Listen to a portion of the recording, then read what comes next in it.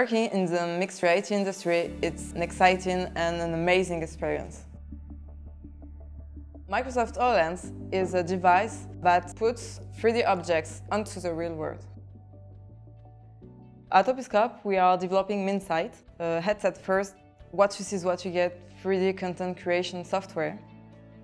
MinSight is designed for creative people. You don't need to be an engineer, a developer to use our software.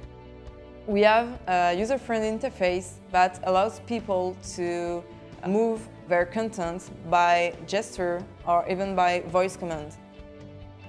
In MinSight, you can import different types of content. You can import videos, 360 videos, free objects. You can add your own text, create your own shapes and brush using our brush tools. You can customize this content and place it into your own environment. Working with Soraya is an amazing experience. She's so talented. She had the ability to convince investors with her passion of mixed reality and new technologies in, in general.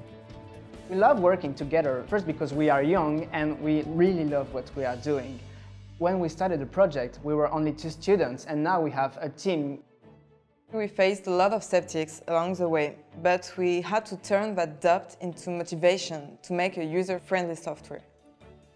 Our customers, they're non-technical and that's not a problem. We want them to be able to create their own experience in mixed reality because that's so important. And that's why we wanted to have that simple and natural user interface. Uh, really at the early stage of the technology. So what's available now often leads to some sense of disappointment. We have to think about the endless possibilities that could be, not just what is available now. In 10 years, we will look back at the hardware of 2017 and laugh at how bad it was.